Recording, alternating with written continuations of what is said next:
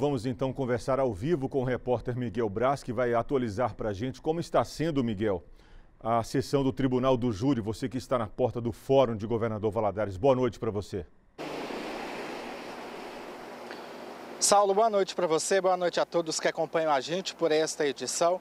Só para a gente relembrar, o julgamento começou às 10 da manhã de hoje, com previsão para terminar entre as 10 e 11 horas da noite. Portanto, o réu foi ouvido agora à tarde e as alegações dele foram concluídas por volta das 4 horas da tarde. Para a gente relembrar também familiares, amigos e conhecidos também da Natália Epifania de Oliveira acompanham todo o julgamento aqui no Fórum Dr. Joaquim Assis Costa, aqui na região central de Governador Valadares. Portanto, Saulo, o jornalismo da TV Leste vai acompanhar todo o resultado e, claro, amanhã no Balanço Geral a gente vai trazer outras informações para saber qual foi a decisão do Tribunal do Júri, né, do Conselho de Sentença aqui do Tribunal de Júri, do Júri.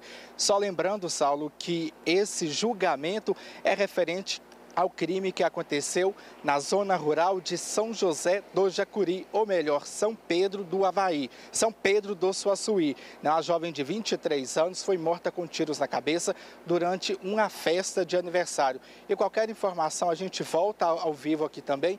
E amanhã no Balanço Geral, a partir das 11h50, com Nicomedes Felício, outras informações. Saulo Bernardo.